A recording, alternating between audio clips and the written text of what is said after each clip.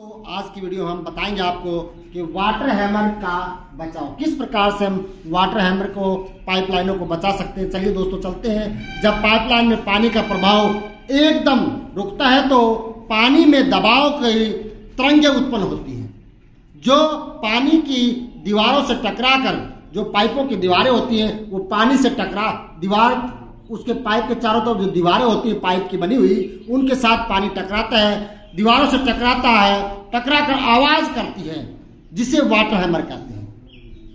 यह वाल के एकदम बंद होने के कारण पानी के पैदा हुए झटके से होता है। जब एकदम हम वाल को बंद करेंगे तो पानी का प्रेशर रुकेगा और वहाँ पे तरंगे उत्पन्न होंगी। तो इससे पाइप, पाइपों में अथवा बॉयलरों में पानी का दबाव स्थानीय रूप से बहुत बढ़ जाता है। इस कारण पाइप आदि फट सकते हैं।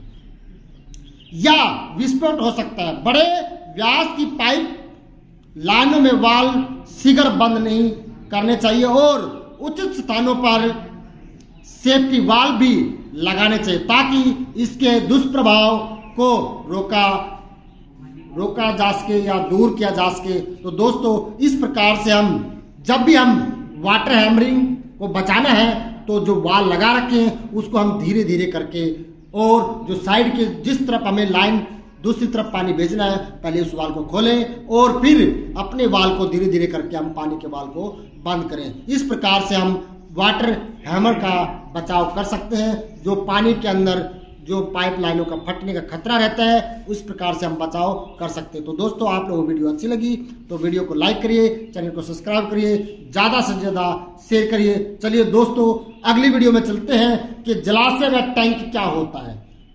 इसी के साथ, okay, thank you. Naresh sir I channel की तरफ़ से मिलते हैं नेक्स्ट वीडियो में।